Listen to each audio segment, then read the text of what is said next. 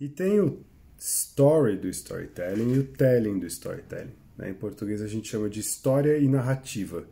Pode parecer que são sinônimos, mas são coisas bem diferentes, até processos diferentes, é tudo são realmente duas coisas separadas que se unem para formar esse storytelling ou essa contação de histórias. E o story do storytelling é os personagens, o que acontece, e é tudo meio bagunçado, né? Quando a gente fala, por exemplo, você conhece o Senhor dos Anéis, ou Harry Potter, ou As Mil e Uma Noites? E na sua cabeça, na hora que eu falo de Senhor dos Anéis, vai vir um monte de coisa.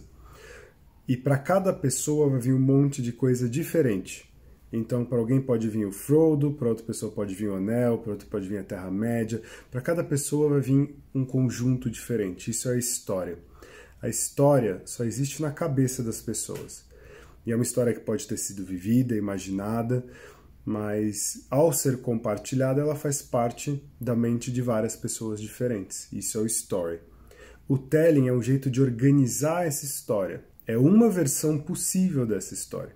Então, um só story pode ter infinitos tellings.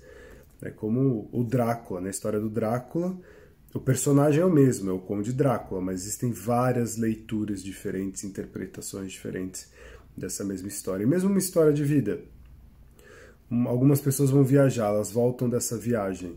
Tem no mínimo tantas versões quanto pessoas que foram viajar.